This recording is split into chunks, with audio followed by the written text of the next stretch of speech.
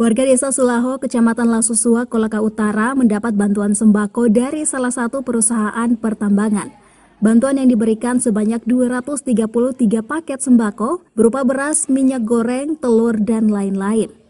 Warga sangat senang mendapat sembako dan akan digunakan untuk kebutuhan pada bulan Ramadan nantinya.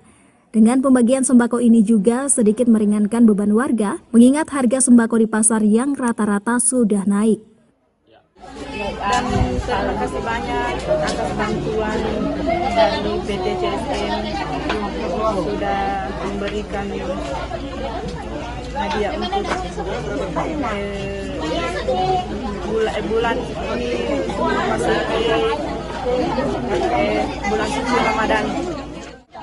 Ya, jadi memang eh, program ini adalah program tahunan di mana memang dari pimpinan owner kami program berbagi di setiap menyambut bulan suci Ramadan.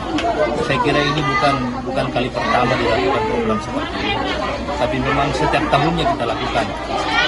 Ada banyak sih program, belum lagi umat berkah dan saya pikir ini untuk menyambut bulan suci Ramadan kita berbagi dengan masyarakat sekitar yang di mana tempat kami beraktivitas dalam dunia pertambangan nikel. Kegiatan pembagian sembako ini akan kembali dilakukan oleh pihak perusahaan saat akan jelang perayaan Idul Fitri. Ere Guru melaporkan dari Kolaka Utara.